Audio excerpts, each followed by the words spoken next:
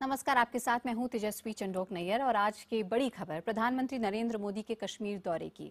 जी हाँ, प्रधानमंत्री नरेंद्र मोदी लेह पहुँच चुके हैं और यहाँ पे देखना यही है कि किस तरह से इस दुर्गम इलाके की जनता के दिलों से जुड़ते हैं प्रधानमंत्री। प्रधानमंत्री का विशेष विमान नौ बजकर पाँच मिनट पर लेह एयरपोर्ट पर उतरा। एयरपोर्ट पर मौजूद लोगों ने पीएम का पारंपरिक तौर पर स्वागत किया। जम्मू कश्मीर के मुख्यमंत्री उमर अब्दुल्ला भी एयरपोर्ट पर मौजूद थे। पीएम के साथ ऊर्जा मंत्री पीयूष गोयल भी लेह पहुँचे हैं। इसके बाद पीएम का काफिला एयरपोर्ट से निकल गया। पीएम कुछ ही देर में लेह में जनसभा को संबोधित करने वाले हैं। पीएम आज कश्मीर की जनता को दो पावर प्रोजेक्ट की सौगात देंगे। मोदी लेह में चुटक पावर प्लांट का शिलान्यास करेंगे।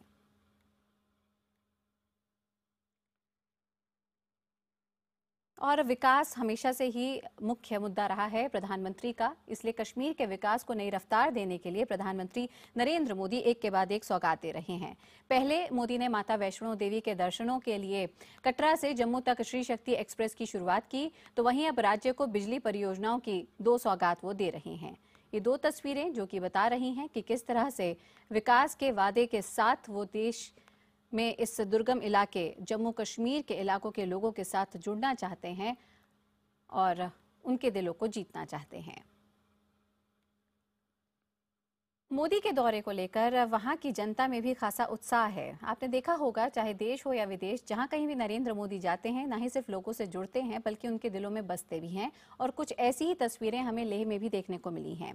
लोगों को उम्मीद है कि अब वो पूरे देश के साथ जब विकास की बात करते हैं तो इसमें भागीदार होगा उनका हल्का भी। बहुत अच्छा लग रहा है। प्रधानमंत्री एक बहुत लद्दाख वासियों के लिए काफ़ी उम्मीद है लेकिन हम कर रहे हैं उनसे। नरेंद्र मोदी जी प्रधानमंत्री बनने के कुछ महीने के बाद लद्दाख तशीफ रहा है। इससे हमें अनु अनुमान लगा सकता है और लद्दाख वासियों के लिए कितना प्यार है। हिंदुस्तान के प्रधानमंत्री जो यहाँ पर तजर्ब ला रहा है तो इससे हमें बहुत खुशी है।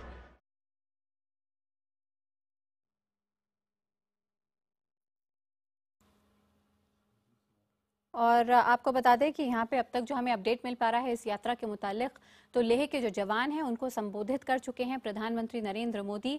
और ये भी कहा है कि जल्द ही राष्ट्रीय युद्ध स्मारक बनाया जाएगा। पीएम ने कहा कि जितना सम्मान आपका है, उतना सम्मान उस माँ का है जिसने आपको जन्म दिया। ऐसे सपूत देश को चाहिए और इसी वजह यहाँ पे, और इसी वजह से और आपके जज्बे की वजह से ही देश आज सुरक्षित है। और हम आपको बता दें, हमने देखा किस तरह से जब 26 जुलाई को हम करगिल युद्ध की, करगिल युद्ध को याद कर रहे थे और तब भी हमने देखा था कि हमेशा से ही हमारे देश में जहाँ से सबसे ज़्यादा जवान निकलते हैं पूरी दुनिया में, वहाँ पर एक भी राष्ट्रीय स्तर का युद्ध स्मारक नहीं है। ये मांग हमेशा से उठती रही है वॉर मेमोरियल की और आज इस वॉर मेमोरियल की बात को, का ज़िक्र करते हुए प्रधानमंत्री ने लेह में जवानों को संबोधित किया और जल्द ही राष्ट्रीय युद्ध स्मारक बनाए जाने की उन्होंने बात कही है। पीएम ने कहा है कि जितना सम्मान आपका है, उतना ही उस माँ का भी है जिन्होंने ऐसे सपूत पैदा किए। आज आप ही के जज्बे की वजह से हम सभी लोग देश में सुरक्षित हैं। और हमारे साथ करगिल से जुड़ रहे हैं संवाददाता खालिद हुसैन। खालिद, मोदी के दौरे को लेकर फ़िलहाल आपसे जानना चाहेंगे कि लोगों में कितना उत्साह और क्या उम्मीद? है और खालिद पर भी हम जाते हैं, लेकिन उससे पहले आइए सुनते हैं कि वहाँ पर मौजूद जो लोग हैं, वो कितने उत्साहित।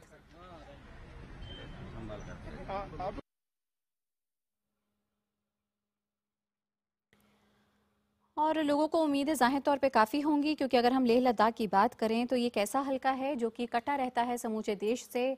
चाहे बात हो विकास की, चाहे बात हो इंफ्रास्ट्रक्चर की, चाहे बात हो बेरोजगारी की, ये कुछ ऐसे मुद्दे हैं जो कि कौंधते रहते हैं लेह की जनता के जहन में। और आज उम्मीद ये यही लगाए बैठे हैं कि जब प्रधानमंत्री नरेंद्र मोदी आएँगे तो ज़रूर उनकी इन बातों को वो ध्यान से सुनेंगे और उनकी इन बातों का मर्ज भी बताकर जाएँगे।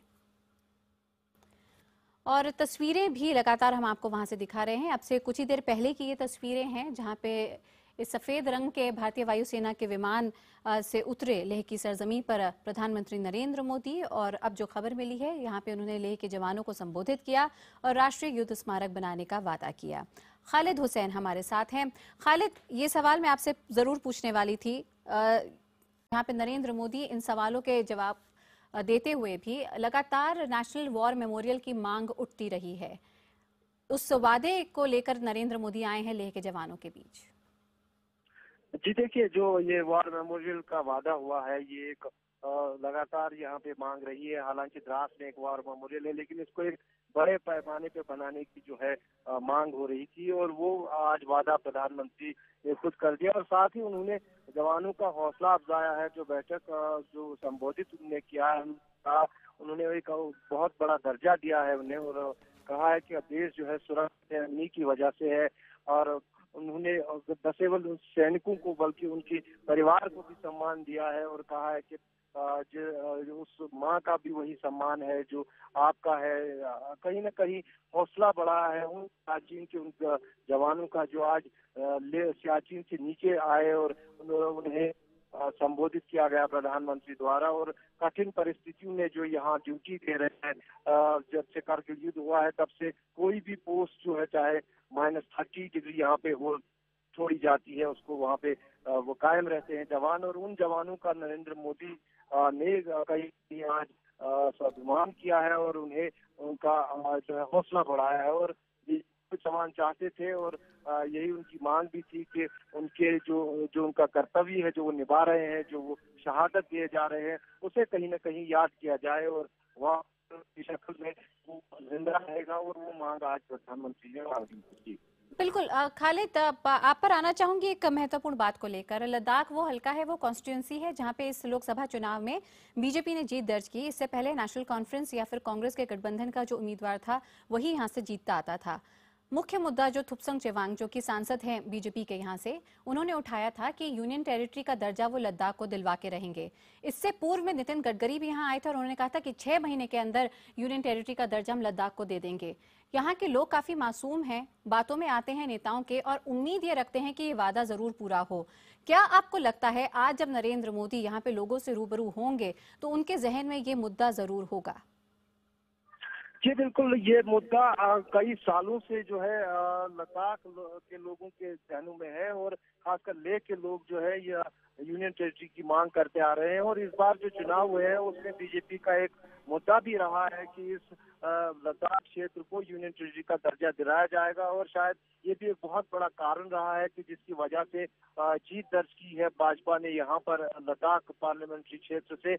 और आज जब कुछ ही समय बाद नरेंद्र मोदी यहाँ आ रहे हैं और कहीं ना कहीं लद्दाख और कारगिल के जहनों में ये ज़रूर है लोगों के, कि नरेंद्र मोदी, क्या उसकी तरफ़ को इशारा करते हैं? क्या हमें वो जो मांग, जिस वादे पे उन्होंने चुनाव यहाँ पे लड़ा था, जो हमसे वादा किया था क्या वो उसको पूरा करेंगे? अभी हमने एक बीजेपी के कार्यकर्ता से बात की थी उन्होंने कहा कि हमने अभी तक बड़े झूठे वादे दिए हैं। पिछले राजनेताओं ने हमें रिझाया है हमसे वोट लिए हैं सीटें बनी है यहाँ एमपी बने लेकिन आज हम फिर एक बार इन पे भरोसा कर रहे हैं और हमें हमारी उम्मीद है कि आज प्रधानमंत्री कोई ना कोई बड़ा तोहफा उनको देंगे। और अब देखना ये है कि क्या इस, बारे में अगर घोषणा नहीं होती है इशारा क्या होता है शायद उसका एक बहुत बड़ा इंतज़ार रहेगा यहाँ के लोगों को। जी।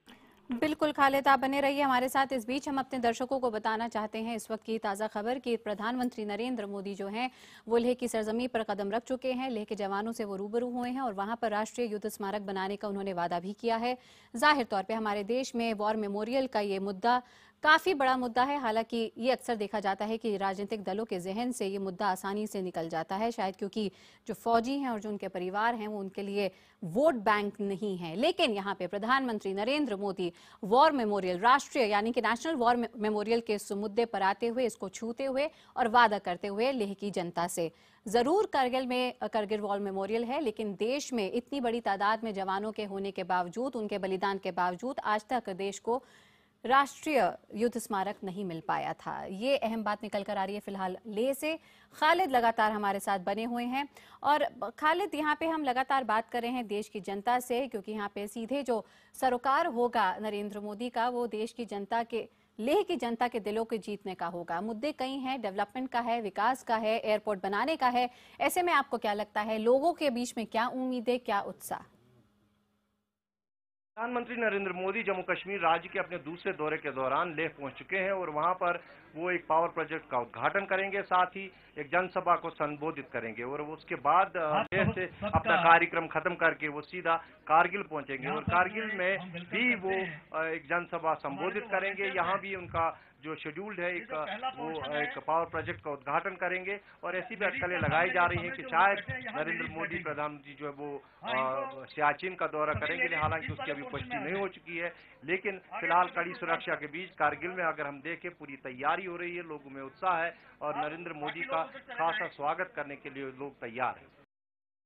खालिद और पूरी गर्मजोशी से यहाँ पे लोगों ने उनका स्वागत किया है। खालिद थोड़ी देर पहले आप हमें ये भी बता रहे थे कि किस तरह से लेह के अगर हम सड़कों की राजमार्ग की बात करें तो वहाँ पर भी नरेंद्र मोदी के पोस्टर और बैनर से पटे हुए हैं पूरे रास्ते और लोगों को यही उम्मीद है कि प्रधानमंत्री उनके लिए कुछ बड़ा लेकर आ रहे हैं।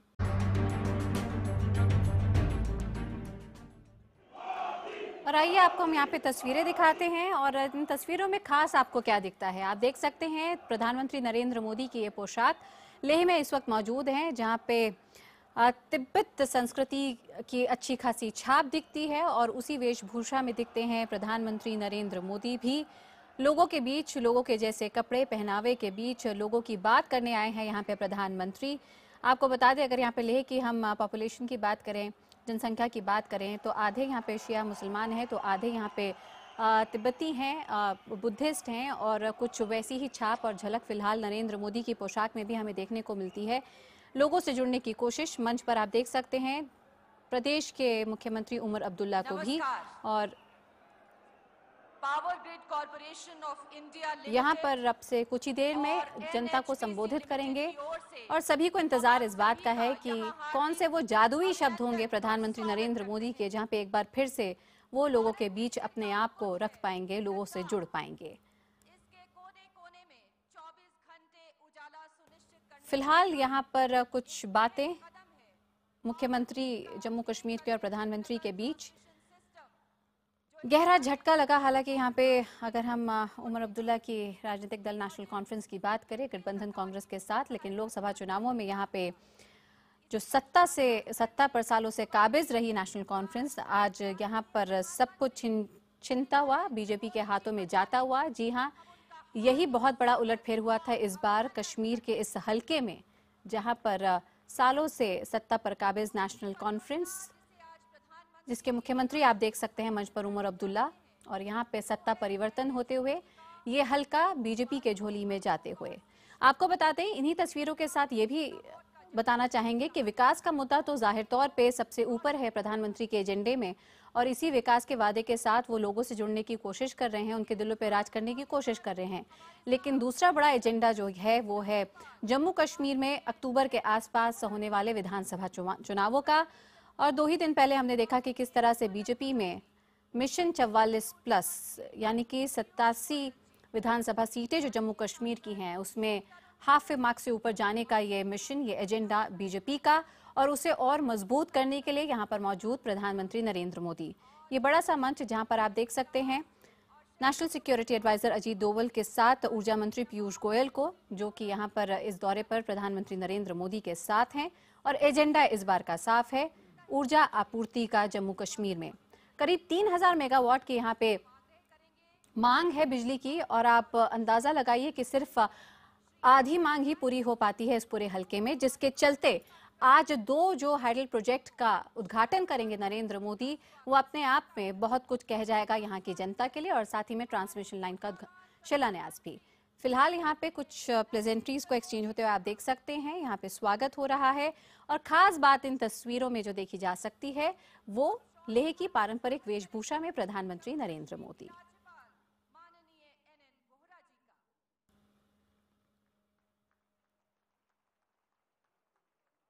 हम शॉल ओढ़ाकर स्वागत करेंगे जम्मू कश्मीर के मुख्यमंत्री माननीय उमर अब्दुल्ला जी का और इसके पहले हम आपको बता दें सैनिकों की इस धरती पर कदम रखते हुए यहाँ पर नरेंद्र मोदी ने अब से थोड़ी देर पहले वो लेह के जवानों से रूबरू हुए थे और राष्ट्रीय युद्ध स्मारक बनाने का वादा भी उन्होंने यहाँ पर किया था। और यहाँ से वो नरेंद्र मोदी रुक करेंगे करगिल का। और करगिल में भी ज़ाहिर तौर पर युद्ध स्मारक है लेकिन हमेशा से ही देश में मांग उठती रही है। एक राष्ट्रीय युद्ध स्मारक की। फ़िलहाल यहाँ पे ऊर्जा मंत्री पीयूष गोयल जनता को संबोधित करते हुए। नरेंद्र मोदी जी जम्मू कश्मीर के गवर्नर महामहिम श्री एन एन वोहरा जी, जम्मू कश्मीर के माननीय मुख्यमंत्री श्री उमर अब्दुल्ला जी, श्री थुपस्तान चौहान जी, श्री तरुण विजय जी श्री अविनाश राय खन्ना जी आपके अपने लोकल मिनिस्टर या लवांग एग्जिन ji Shri P K Sinha power secretary और पावर ग्रिड के सीएमडी श्री नायक उपस्थित सभी भाइयों और बहनों। तो कौन से नए रंगों की सौगात लेकर आते हैं नरेंद्र मोदी? क्या कहते हैं वो लेह की जनता से?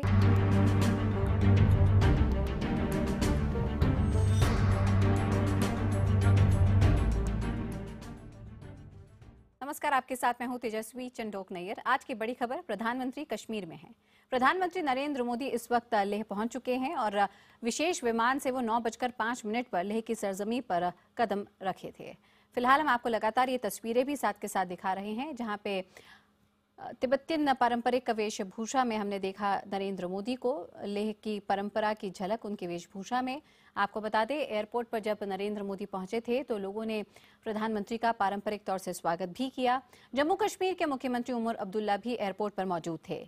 पीएम के साथ ऊर्जा मंत्री पीयूष गोयल भी लेह पहुँचे हैं। इसके बाद पीएम का काफिला एयरपोर्ट से निकला। पीएम कुछ ही देर में लेह में जनसभा को संबोधित करने वाले हैं और आज कश्मीर की जनता को दो पावर प्रोजेक्ट की सौगात देने वाले हैं। मोदी लेह में चुटक पावर प्लांट का शिलान्यास करेंगे। लेह पहुंचकर मोदी ने जवानों को संबोधित किया। मोदी ने वहाँ राष्ट्रीय स्मारक बनाने का वादा किया। जैसा कि हमारे देश में लगातार एक नेशनल वॉर मेमोरियल की मांग उठती रही है, लेकिन हर बार हर सरकार की अनदेखी भी होती रही है इस खास मुद्दे को लेकर। लेकिन प्रधानमंत्री नरेंद्र मोदी आज इस दिलों से जुड़े मुद्दे को छूते हुए और राष्ट्रीय स्मारक, राष्ट्रीय युद्ध स्मारक बनाने की बात कहते हुए, वादा करते हुए लेह के जवानों से। अब से थोड़ी देर पहले मोदी पारंपरिक पोशाक में पहुँचे हैं, जैसा कि हम आपको लगातार इन तस्वीरों में दिखा रहे हैं। मुख्यमंत्री फ़िलहाल वहाँ पर बोल रहे हैं, मोदी लेह में ही 45 मेगावाट की नीमू बाजगो, पनबिजली परियोजना राष्ट्र को समर्पित करेंगे और फिर मोदी करगिल के लिए रवाना हो जाएँगे। करगिल में भी प्रधानमंत्री मोदी एक जनसभा को संबोधित करेंगे और 44 मेगावाट चुटाक बिजली संयंत्र को राष्ट्र को समर्पित करेंगे। और आइए अब सीधे रुक करते हैं जम्मू कश्मीर के मुख्यमंत्री उमर अब्दुल्ला का। एक तो इसमें आबो हवा जनरेटर चलाने से जो नुकसान होता था, वो तो होता ही था। दूसरा जो खर्चा, श्रीनगर से यहाँ तक डीजल लाना या कुल्लू मनाली के रास्ते से यहाँ तक डीजल लाना, बहुत ही ज़्यादा मुश्किल का इन इलाक, इन इलाकों में हमें सामना करना पड़ता था। आज आपके हाथों नीमो बाजगो प्रोजेक्ट जो है, यहाँ लोगों के हवाले किया जा रहा है। इसके लिए हम आपके शुक्रगुजार हैं। लेकिन इस मौके पे मुझे ज़रूर इससे पहले सबका वज़ीर आज़म जनाब हमारे डॉक्टर मनमोहन सिंह साहब का भी शुक्रिया करना होगा, जिन्होंने प्राइम मिनिस्टर्स रिकंस्ट्रक्शन प्रोग्राम के तहत इस प्रोजेक्ट को मंजूरी दी, इस प्रोजेक्ट की फुल फंडिंग कराई। क्योंकि अगर हम एनएचपीसी पर डिपेंड होते, शायद इस प्रोजेक्ट की वायबिलिटी और इस प्रोजेक्ट की प्रॉफिटेबिलिटी को देख के एनएचपीसी के तहत जो है, ये प्रोजेक्ट मुकम्मल नहीं होता। आज आपके हाथों के ज़रिए जो संग बुनियाद डाला जा रहा है पावर ग्रिड कनेक्टिविटी के लिए, ये भी इस इलाके को बहुत ही ज़्यादा फ़ायदेमंद साबित होगा। मैंने कटरा में आपकी तकरीर जो है गौर से सुनी। आपने उस वक्त रेलवेज को हिदायत दी थी कि रेलवे स्टेशन जो है, वो सोलर रेलवे स्टेशन में तब्दील किया जाना चाहिए। आपका गुजरात और लद्दाख जो है, देखने में शायद एक जैसा ना हो लेकिन जितनी सोलर एनर्जी की कैपेसिटी आपकी रियासत में है, शायद उतनी ही कैपेसिटी सोलर एनर्जी की यहाँ लद्दाख के क्षेत्र में है। फ़र्क सिर्फ़ इतना है कि यहाँ सोलर एनर्जी को हम सही माने में इस्तेमाल नहीं कर पाते, क्योंकि उस एनर्जी को बाकी रियासत, बाकी मुल्क में लिया नहीं जा सकता। ये पावर ग्रिड कनेक्टिविटी जल्द से जल्द मुकम्मल हो। यहाँ पे हज़ारों मेगावाट की कैपेसिटी जो है सोलर की है। पिछली हुकूमत में मेरे वालिद जनाब फारूक अब्दुल्ला साहब ने रियासती हुकूमत के साथ एक एमओयू साइन किया था, जिसके तहत हम लद्दाख रीजन से 5000 मेगावाट सोलर एनर्जी जो है, उसको टैप करना चाहते हैं, जिससे वाकई इस इलाके की इकोनॉमी बदल जाएगी। इस इलाके में दो ही चीज़ मुमकिन है। एक, इस खूबसूरती के वजह से टूरिज़्म जिसका हम कोशिश कर रहे हैं फ़ायदा लेने की, और उसके साथ साथ बिजली की पैदावार। जितनी ज़्यादा यहाँ बिजली की पैदावार हो, जितनी ज़्यादा बिजली हम इस इलाके से बाकी मुल्क में बेचने का काम करें, उतना ही ज़्यादा इस इलाके को हम ऊपर उठा पाएँगे। इन इलाकों में जो लोग रह रहे हैं, उनके चेहरों पे मुस्कुराहट है ही है, लेकिन मैं चाहता हूँ कि वो मुस्कुराहट इतना ज़्यादा फले फूले, इतना ज़्यादा हमें नज़र आए कि वाकई इनकी मुस्कुराहट जो है सूरज की रोशनी से मुकाबला करें, जो मुझे लगता है इन कामों के ज़रिए जो है मुमकिन हो पाएगा। मैं एक बार फिर लेह लद्दाख की सरजमीन पे आपका इस्तकबाल करता हूँ और उम्मीद करता हूँ कि मैं फिर जल्द से जल्द आपको यहाँ पे दोबारा इस्तकबाल करने का मौका हासिल हो। बहुत बहुत शुक्रिया। जय हिंद, जय जम्मू कश्मीर। बहुत बहुत धन्यवाद उमर अब्दुल्ला जी।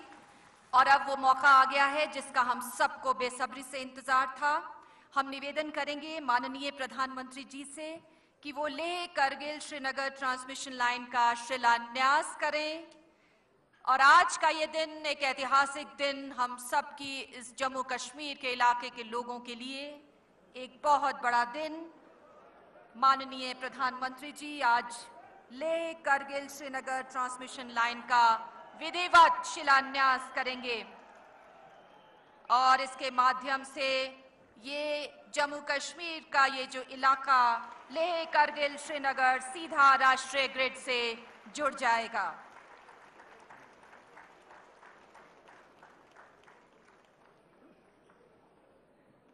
हम निवेदन करेंगे आदरणीय प्रधानमंत्री जी से कि वो एनएचपीसी लिमिटेड की Nimoo Bazgo hydro power station परियोजना राष्ट्र को समर्पित करें। इस परियोजना से हर साल 24 करोड़ यूनिट का उत्पादन हो रहा है। यहाँ से पूरे लेह के इलाके को 24 घंटे बिजली मिल रही है। और अब आदरणीय प्रधानमंत्री जी की उपस्थिति से ये जो पूरा माहौल ऊर्जावान हो रहा है, हम आग्रह करना चाहेंगे, निवेदन करना चाहेंगे माननीय प्रधानमंत्री जी से कि वो आए और हम सबका मार्गदर्शन करें। माननीय प्रधानमंत्री श्री नरेंद्र मोदी जी।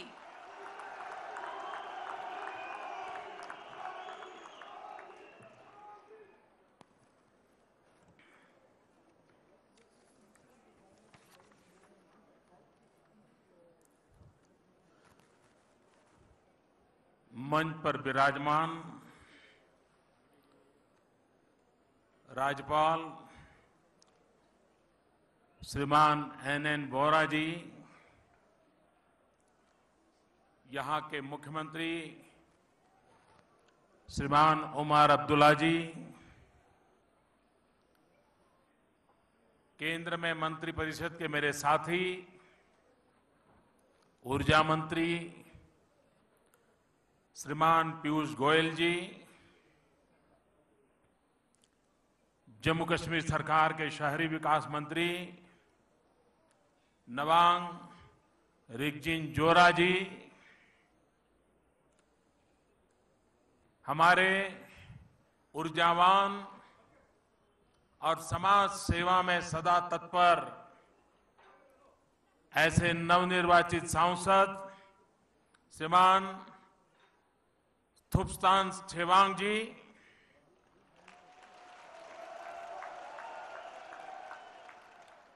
संसद में हमारे साथी श्री तरुण विजय जी, संसद के हमारे दूसरे साथी श्री अविनाश राय खन्ना जी,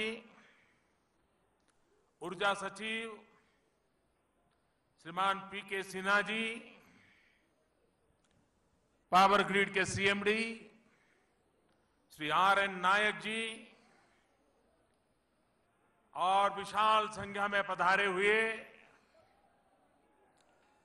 लद्दाख के मेरे प्यारे भाइयों और बहनों,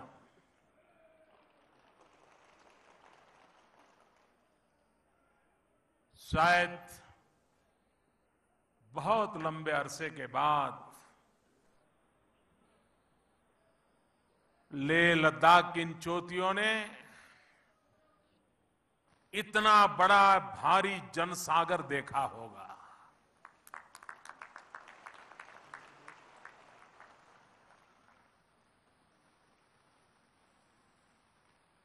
ये मेरा सौभाग्य रहा है कि मुझे कई वर्षों तक जम्मू कश्मीर क्षेत्र में भारतीय जनता पार्टी के संगठक के कार्यकर्ता के रूप में कार्य करने का अवसर मिला था। और उसके कारण इस क्षेत्र में मुझे बार बार आने का अवसर मिलता था। मैं यहाँ के जीवन से भली भांति परिचित हूँ। यहाँ की कठिनाइयों से भी परिचित हूँ। और सबसे बड़ी बात मैं यहाँ की शक्ति से भी परिचित हूँ।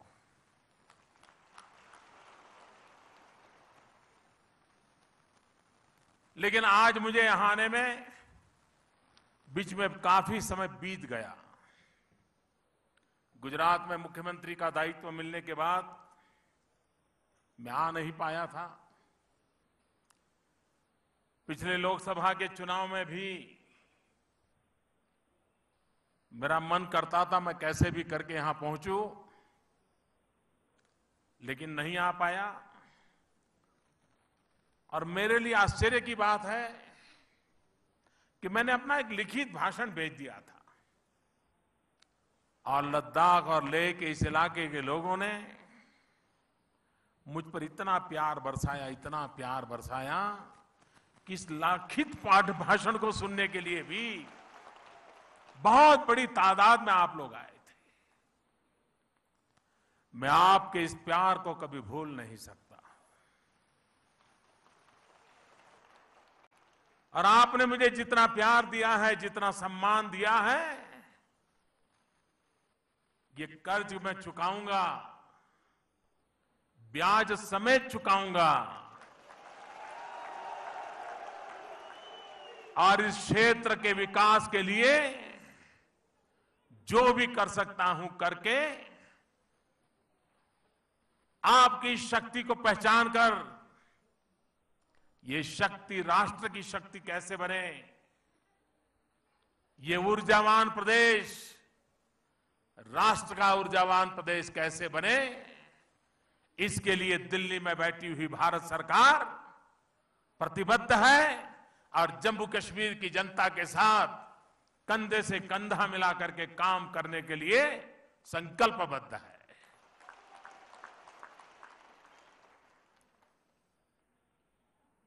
एक समय था, दो दो पाँच पाँच दस दस साल तक कभी प्रधानमंत्री जम्मू कश्मीर की धरती पर नहीं आते थे। और ये एक वक्त है कि महीने में दो बार एक प्रधानमंत्री इस धरती पर आता है। आपका प्यार मुझे खींच करके ले आता है। और मैं हमेशा मानता हूँ कि क्षेत्र ऐसा है, खास करके लेह लद्दाख का, जहाँ पर से प्रकाश, पर्यावरण और पर्यटन, ये तीन पी प्रकाश, पर्यावरण और पर्यटन। ये ऐसी ताकतें हैं जो सिर्फ़ लेह लद्दाख नहीं, सिर्फ़ जम्मू कश्मीर नहीं, भारत की भलाई के लिए भी इन ताकतों का अगर भली भांति संयोजन हो, समागम हो और उसका विकास हो तो भारत की भलाई के लिए भी काम आ सकता है यहाँ का प्रकाश अंधेरों को भगाने के लिए, पर्यावरण की रक्षा के लिए और पर्यटकों को आकर्षित करने के लिए एक बहुत बड़ी मिसाल है। और मुख्यमंत्री जी ने कहा, गुजरात के और लेह लद्दाख के सोलार रेडिएशन समान है। गुजरात के रेगिस्तान में जितनी सोलार एनर्जी की संभावना है, उतनी ही सोलार एनर्जी की संभावना लेह लद्दाख में है। गुजरात का कच्छ का जिला बहुत बड़ा सीमा क्षेत्र है। लेह लद्दाख ये जिला भी बहुत बड़ा सीमा क्षेत्र है। और सोलार एनर्जी के लिए भारत सरकार ने वर्तमान बजट में लेह लद्दाख को भी अपना योजना के केंद्र में रखा है। और एक बहुत बड़ा सोलार पार्क जिसकी संभावना यहाँ पर है। आज यहाँ दो महत्वपूर्ण प्रोजेक्ट और इसके बाद कारगिल में एक महत्वपूर्ण प्रोजेक्ट के लिए मुझे जाना है। अब आप उधारी रोशनी पर नहीं जिएँगे। आप अपनी खुद की रोशनी पर जीने वाले हो।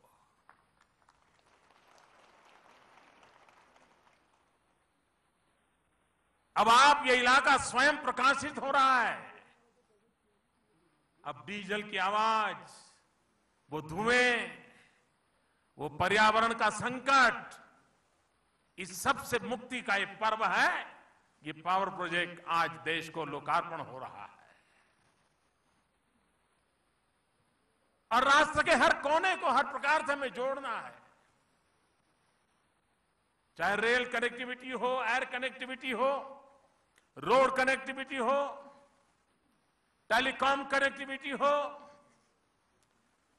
या बिजली की ग्रिड की कनेक्टिविटी हो हिंदुस्तान के हर कोने को जोड़ना है। और आज मुझे खुशी है कि हिंदुस्तान के दूर सुदूर सीमावर्ती क्षेत्रों को भी बिजली ग्रिड से जोड़ने का एक अभियान उसका शिलान्यास हो रहा है। जो सपना अटल बिहारी वाजपेयी जी ने देखा था, उसको पूरा करने का आज हम प्रारंभ कर रहे हैं। करीब 1800 करोड़ रुपया की लागत से और टेक्नोलॉजिकली बहुत ही उत्तम प्रकार की योजना से ये बिजली की ग्रिड जो यहाँ से बिजली ले जाने के लिए भी और यहाँ से बिजली लाने के लिए भी, यहाँ दूर सुदूर इलाकों में बिजली पहुँचाने के लिए वो काम आने वाली है। आप कल्पना कर सकते हैं जब ये काम पूरा होगा तब इस पूरे क्षेत्र का लद्दाख से श्रीनगर तक का रास्ते के सारे जीवन में कितना बड़ा बदलाव आ जाएगा? आखिरकार विकास वो होना चाहिए जो सामान्य मानवी के जीवन में बदलाव लाए। हम उन योजनाओं पर बल दे रहे हैं जो सामान्य मानवी के जीवन में बदलाव लाने के लिए काम आए। और उसमें ऊर्जा का बहुत बड़ा महत्व होता है। ये क्षेत्र सारे विश्व के लिए आकर्षण का क्षेत्र कैसे बने?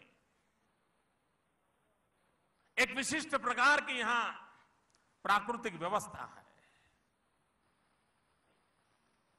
मैं हमेशा देखता हूँ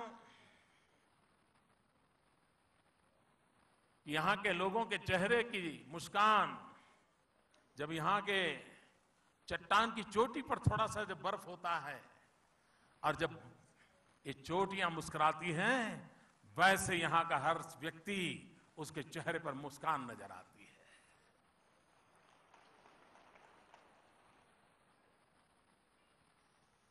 यहाँ की राष्ट्रभक्ति भारत की रक्षा की एक मिसाल है। मैं आपके भीतर की उस राष्ट्रभक्ति, आपके उस त्याग और तपस्या को विशेष रूप से आज नमन करना चाहता हूँ, अभिनंदन करना चाहता हूँ।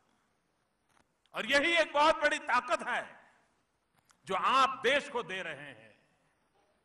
और इसलिए आपके इस सामर्थ्य का भी मैं गौरव करता हूँ।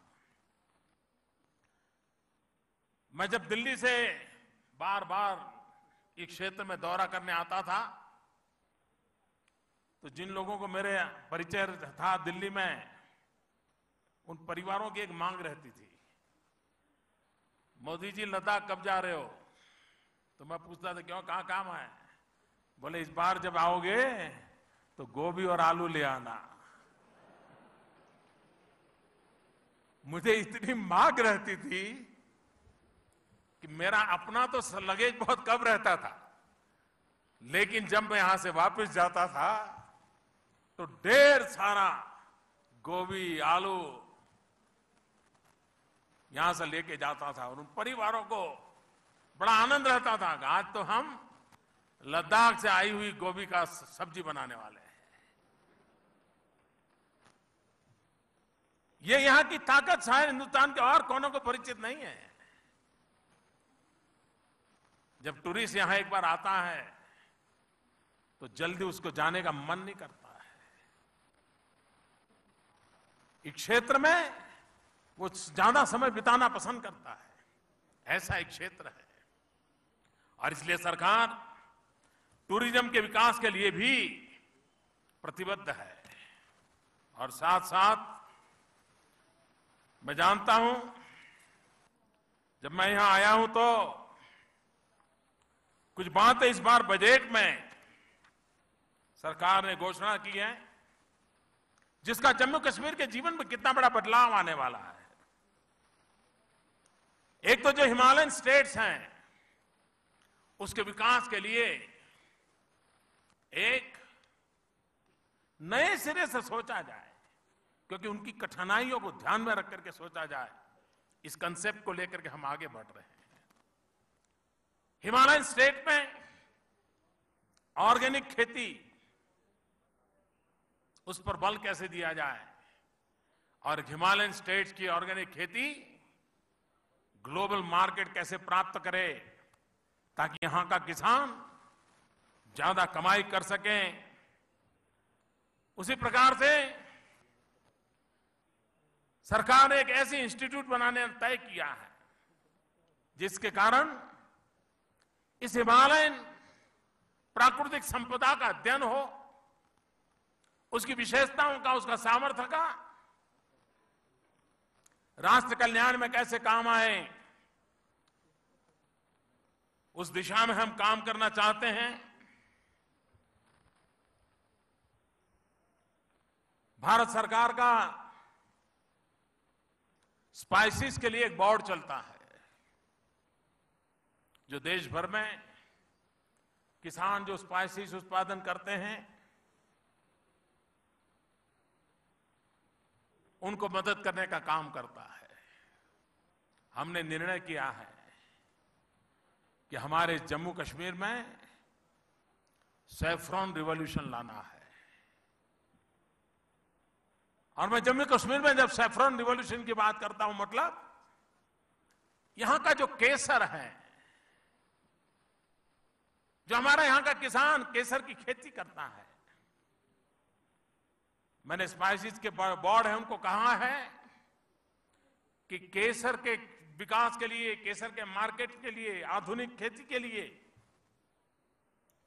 स्पाइसिस बोर्ड के माध्यम से एक स्पेशल व्यवस्था खड़ी की जाए उस बोर्ड के अंदर। एक अलग इकाई खड़ी की जाए।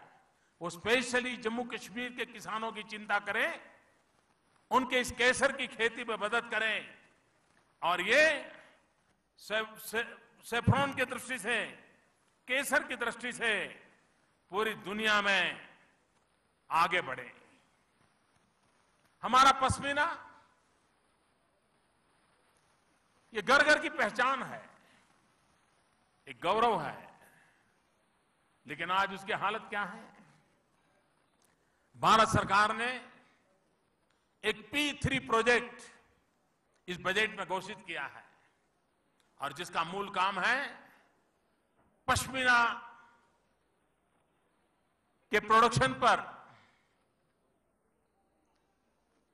उसकी डिज़ाइनिंग के लिए, उसकी टेक्नोलॉजी के लिए, कैसे उसको आधुनिक बनाया जान उस पर हमने योजना करने का तय किया है, जो आने वाले दिनों में जो पश्मीना के काम में लगे हुए हमारे कारीगर हैं उनके जीवन में बहुत बड़ा काम करेंगे। जैसे मैंने पहले ही कहा, हम सोलार प्रोजेक्ट पर बल देने वाले हैं। कई वर्षों से दिल्ली सरकार का और जम्मू कश्मीर का एक मुद्दे पर झगड़ा चल रहा था। और वो झगड़ा ये था कि फ़ूड कॉरपोरेशन ऑफ़ इंडिया जो खाद्यान्न देता है जम्मू कश्मीर को, और उसमें कुछ ब्याज की रकम का झगड़ा चल रहा था। भारत सरकार 60 करोड़ रुपए मांगती थी। जम्मू कश्मीर सरकार कहती थी, भाई, अब ये बहुत हो गया, हम नहीं दे पाएँगे, छोड़ दीजिए। लंबे अरसे से हमारे उमर जी इसके लिए लड़ाई लड़ रहे थे। भाइयों बहनों, आज जब मैं यहाँ आया हूँ तो मैं घोषित करता हूँ कि पुराना जो मसला विलंबित पड़ा है, भारत सरकार ने तय किया है, इसको अब लंबा खींचना नहीं है। वे 60 करोड़ रुपया भारत सरकार माफ़ कर देती है। एक प्रकार से ये बड़ी मदद जम्मू कश्मीर को सीधी सीधी हो रही है। उसी प्रकार से एक दूसरा बड़ा मसला, अटल जी की सरकार ने काम सोचा था, लेकिन बाद में रोड बनाने के उस काम में लागत बढ़ती गई।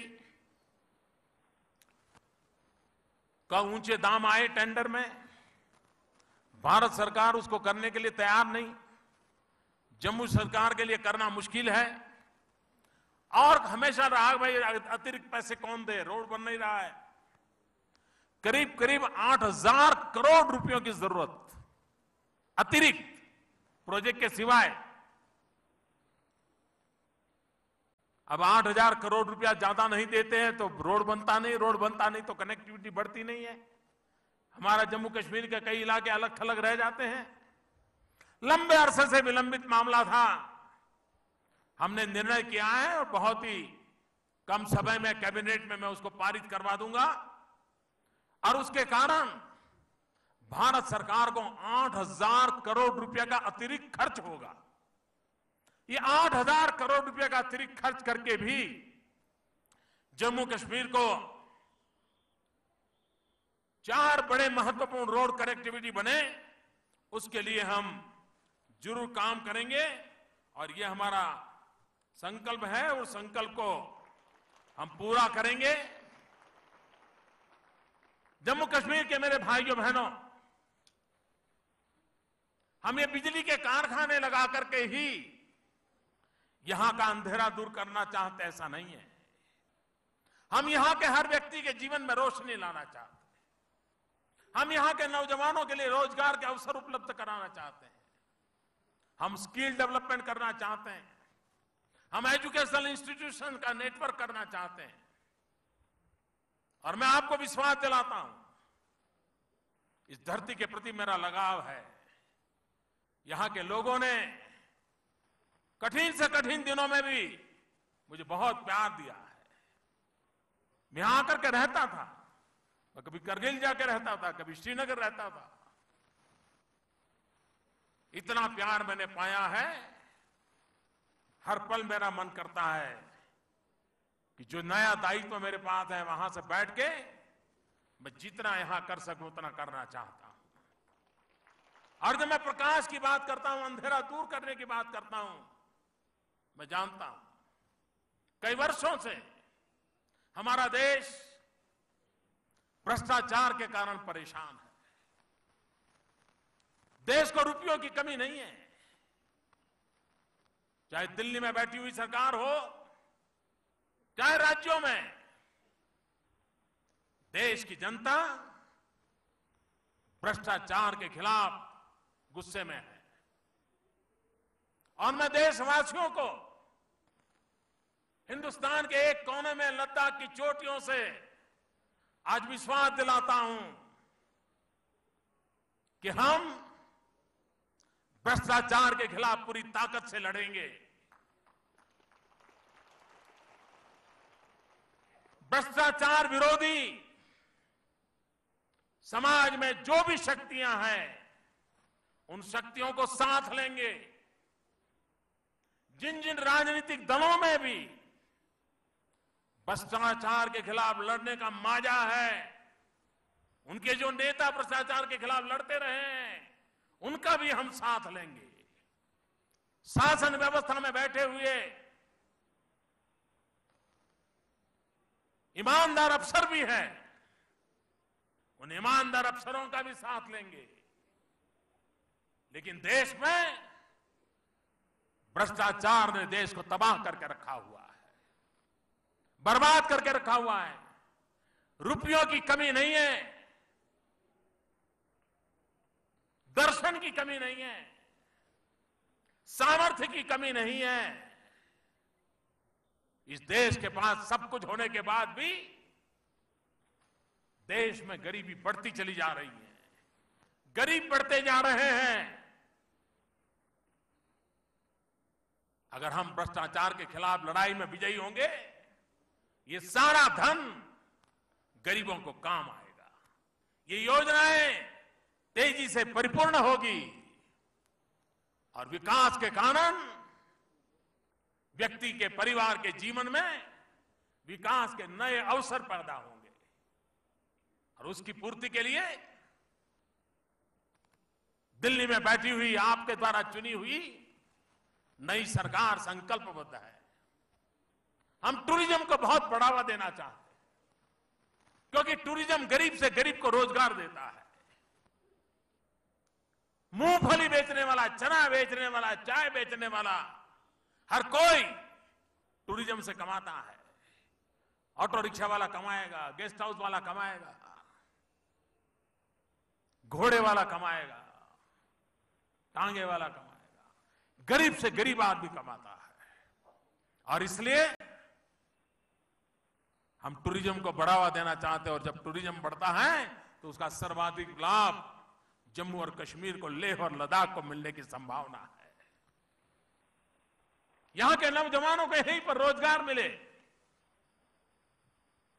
ये हमारा प्रयास है। और आज आपके बीच आने का मुझे अवसर मिला। यहाँ की परंपरा के अनुसार मेरा स्वागत सम्मान हुआ। आपने मुझे अपना तो बना लिया है। लेकिन आज मेरी वेशभूषा भी आपने अपनी बना ली है।